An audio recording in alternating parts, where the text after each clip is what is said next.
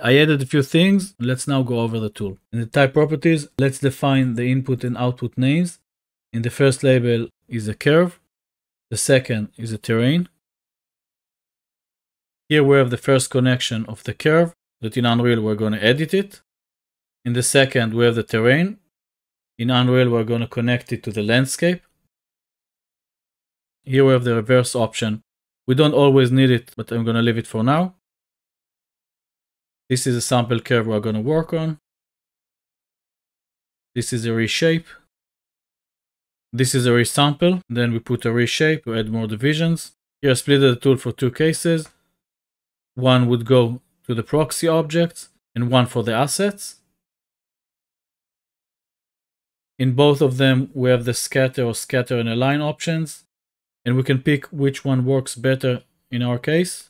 When we use scatter and align, it's easier to have the assets in many scales without going into each other.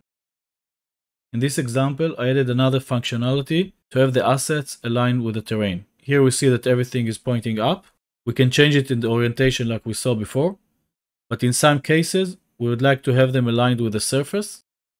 So I added the functionality here, aligned with the terrain. And then we can have the assets point to the surface normal. It depends on the type of asset we want to use. We can either have the assets point up or with the surface normal, depending on the case. And once it's defined, we can decide on that in Unreal. Let's continue in Houdini. Here we have the scattered points. And here's a terrain projection. It takes the input that in Unreal we put it as a landscape. I added another functionality. It's not a must. I took the height field and cropped it around the area that we need to do the projection. So this is a projection.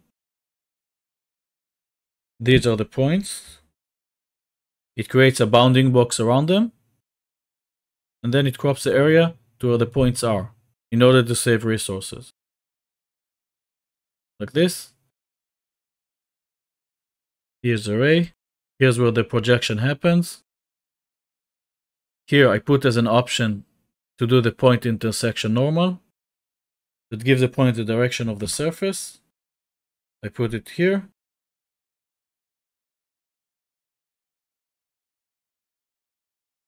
Here I just replace the normal orientation to have it aligned in Unreal, point up, not sideways.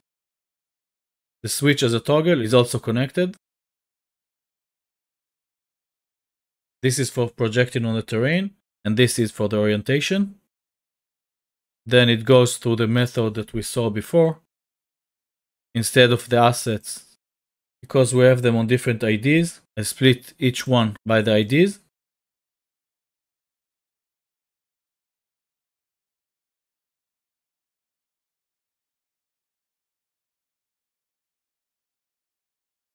I split each one by the IDs.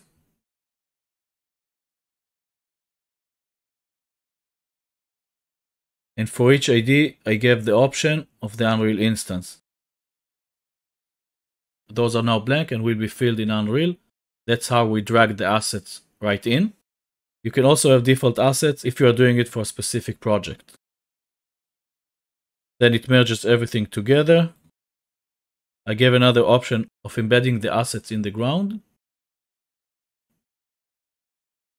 Here's a switch that select between the assets or the proxy objects. And that's our tool. Now we're going to see how to finish the tool and use it.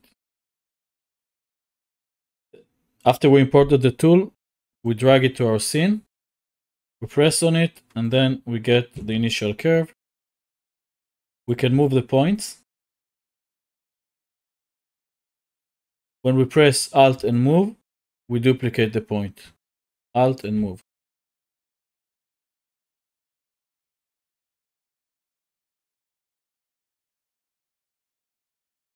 This is how we create the initial shape. We're still with our proxies. We're going to replace them with our assets soon. We can look at the point pattern here. In order to project it on the terrain, we need to define what we want to project it on. We can scroll down. Here we can see the world input. That's where we connect the landscape or the floor. And we need to tell it what to select. So we do here start selection. we can either select an element like this, or we can select the whole landscape. Use current. And then we can see the object it's going to project on. For now, it's not projected yet. We go up. We go up in our tool and check the project on terrain. And now our assets sit on the terrain. We can still pick the scattering mode, either regular scatter of points or scatter and align. Now let's add our assets. We press here on assets. Here we have the tabs, type 1, 2, or 3. In each one of the types, we can put as many assets as we want, and we can control size and their weight in the overall amount. Let's start with the trees. We just drag and drop it here.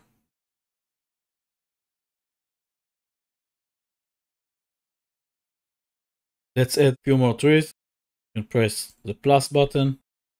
Let's take this one and this one, for example. You can see that they are being scattered as part of our pattern. If we want to change it, we can go up and change the element size or change the type like we did before. Let's say patches. Or we can place them randomly. Let's do noise for now. Let's add the rocks now. We can go to type 2. Let's add two types of nodes. We can do as many as we want. Here's the first one. Here's the second one. We can either take an open shape and just spin it around itself, or we can check. And if we have a closed version, we can rotate it all over. Let's go back to our tool. Select the second one. In the third type, we can add some vegetation.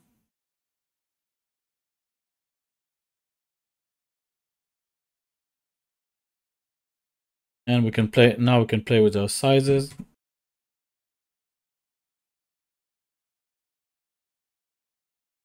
here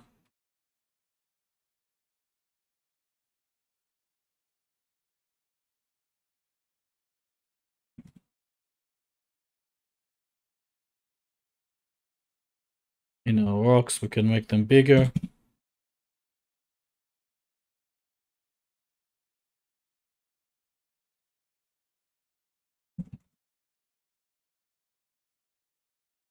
If we want more, we can just go back to the scatter, pick the method that we want,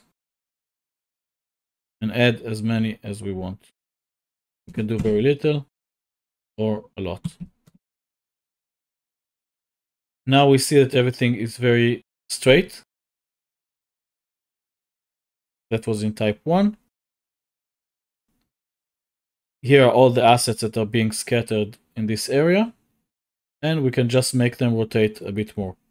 So we have a spin min and max. Let's just tell them to spin to the maximum, to the maximum, and we see that everything is different now. We can lower the amount a bit.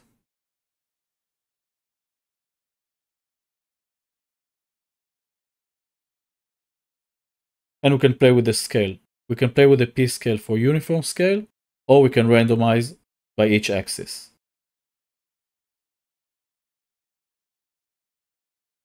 Let's do that for the rocks as well.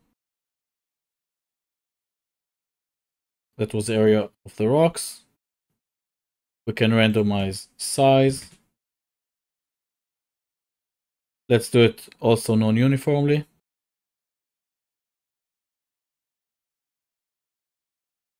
We can spin them around their axis, but we can also rotate them in all directions. And I think we can lower the amount a bit. And maybe even make them a bit smaller. This is like a global scale. And this is how we can spread things in different patterns. If we want to integrate it a bit better, we can go to the rocks and add some vegetation and add some rocks instead of trees. And that can make things a bit more organic. Let's add here a plant. We can see them here. We can lower the amount and make them a bit bigger.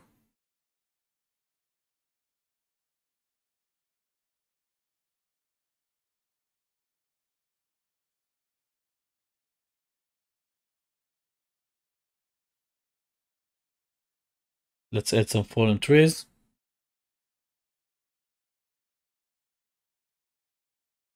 And let's add some pebbles here.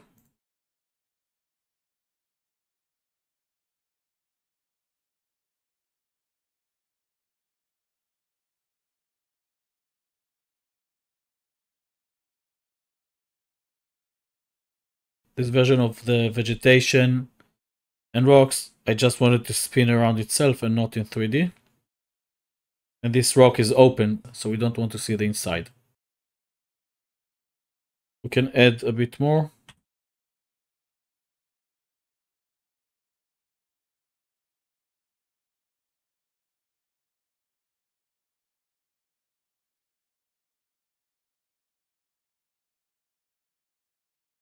I added the functionality here aligned with the terrain.